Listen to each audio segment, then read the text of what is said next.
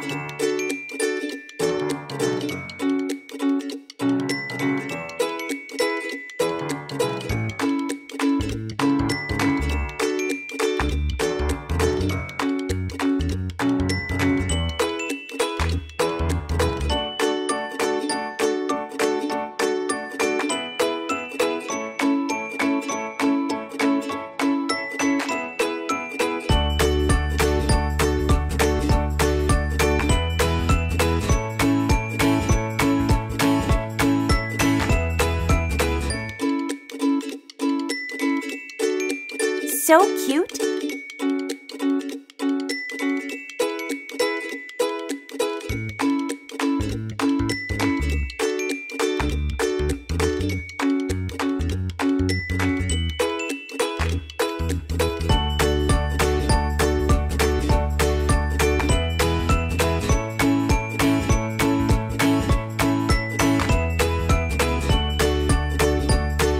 Beautiful!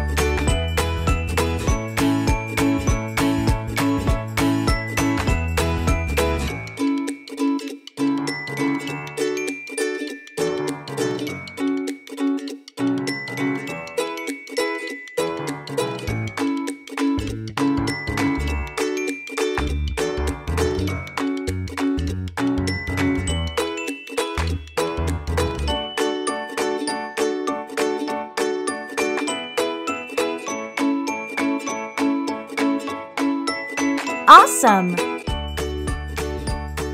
Wow! These turned out amazing! Let me know which style was your favorite in the comments below.